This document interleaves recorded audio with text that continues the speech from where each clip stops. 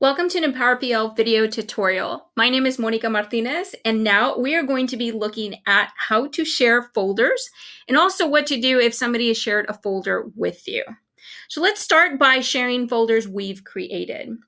So I'm going to go over on the left-hand side and show you my uh, folders that I already have created. And the one that we're going to share with another account of mine is going to be this demo folder one.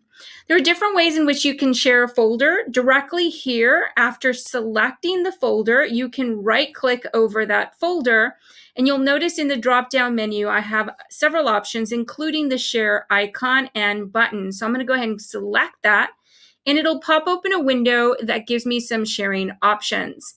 Now, I'm going to show you, in addition to doing it this way, that there are other ways to find that little share icon. But either way, once you get to this window, you can add that person's email address. And I'm just going to add my other account here.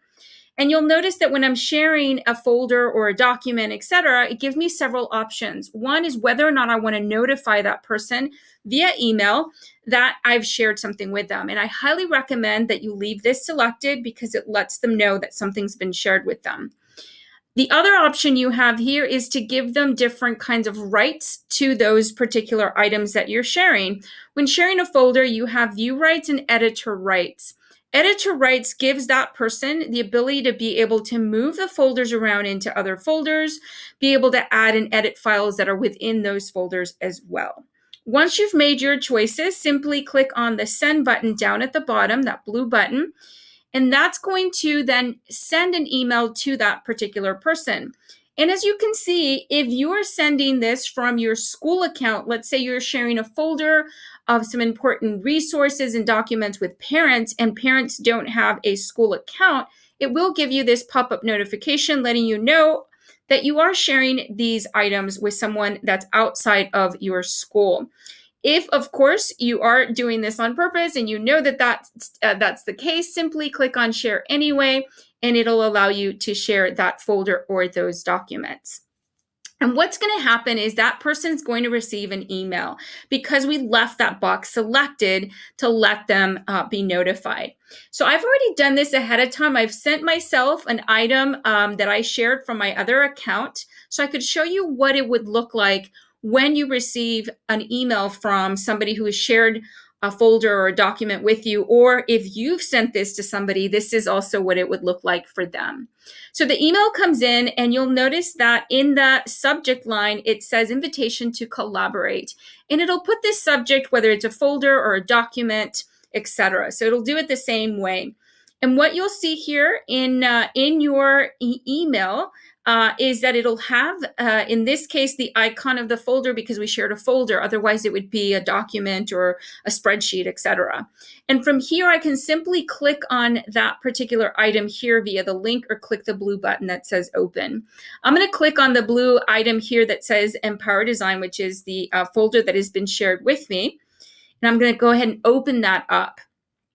And so this opens up that folder that has been shared with me. Remember, this is not my folder that sits on my Google Drive, but it is a folder that has been shared with me.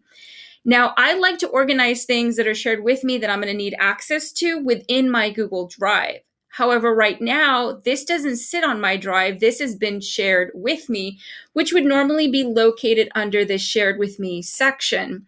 But you can't organize content in there. It just play, lists everything just at random pretty much everywhere. So what I want to do is come up here to the top to where it has the title Empower Designs. That's the name of that folder.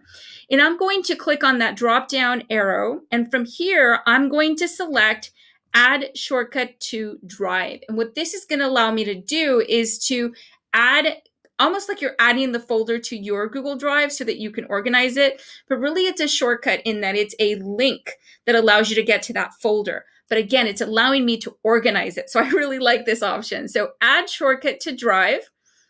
And it's going to open up my um, Google Drive window here so that I can organize it by simply clicking on the arrow here to the right of where it says My Drive.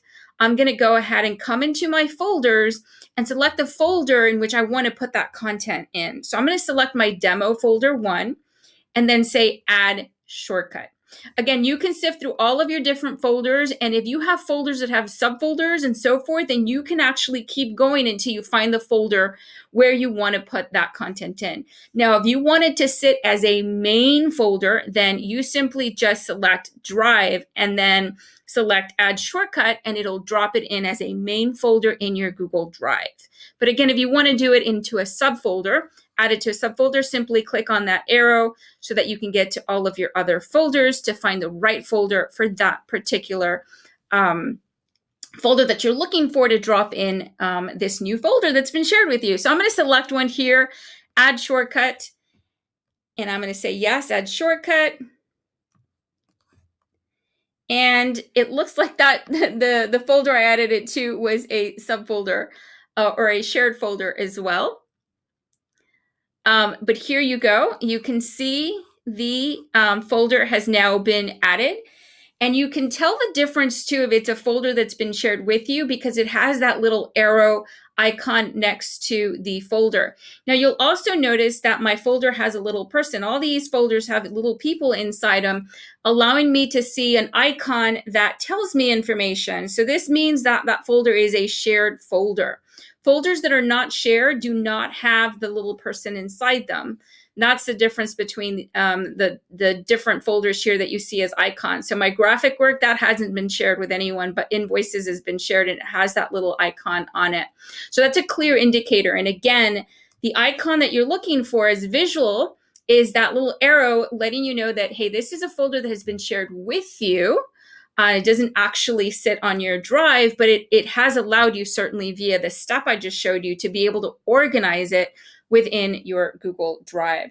So that is how you organize shared folders that have been shared with you, because otherwise, you would have to go to the shared with me section. And again, that section looks just like a complete mess. Like there's just so much that you're going to find in here. And it doesn't put it in any particular order other than by you filtering by dates up here and or, or by name. But sometimes it's a little hard to find that content. So I really like that you can actually add things directly to your drive via that little shortcut. So remember always to leave that check mark selected when it asks if you want to send people an email because it makes it really easy for them to come to that email, find that link here, click on it, and then be able to organize it. All right, last thing I'm going to do here is I'm going to go back to our Google Drive because I want to show you once again. So we shared a folder um, with another colleague, right? And I showed you one way to do that, and that was by simply coming to that folder, right clicking, and clicking that little share button. But the other way to do this, once you've selected your folder, you'll notice that up here at the top right, you also see that little uh, plus symbol with a little guy that allows you to share it from there as well. The rest of the steps are the same. Um, but a third way to do this as well is to right click over the folder from the list view. And once again, you get that share link. Last way to do this is to simply create a link that's going to allow you to then share that link with people. So if you actually want to separately email people and tell them what this folder is about and not necessarily just share it from Google Drive, then you just simply say get link and that's going to give you um, the option for the link right here that you can easily just copy. And notice that you can also on here change where it says restricted, only people um, added to that folder, if you've already added them, can actually open that link. You can actually change those settings to anyone within your organization or anyone with the link can actually access that particular folder. But once you copy that link and you click on done, from here you can actually go back to your email, draft up an email, send it to folks, and just drop that link in there in that email, as opposed to sharing the folder um, the way that I just uh, showed you via that little plus symbol with um, with that little guy on there. So different ways to share folders. I hope this has been helpful and that you uh, now uh, see that you have different ways to share based on what your intent is for sharing your folders. Anyway, happy sharing.